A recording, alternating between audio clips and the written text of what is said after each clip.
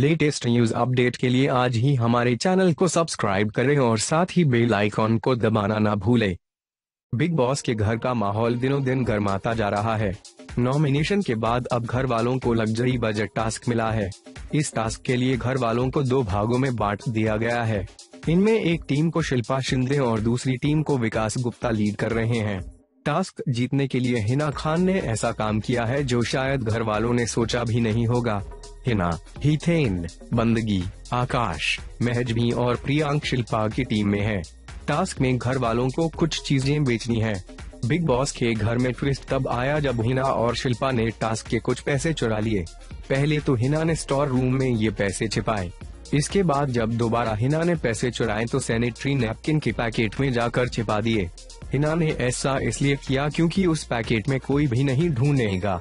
हिना खान ने दिमाग तो सही लगाया है, लेकिन इसका उन्हें घर जानना भी भरना पड़ेगा बता दें कि इस बार भी घर से बेघर होने के लिए हिना खान नॉमिनेट हुई हैं।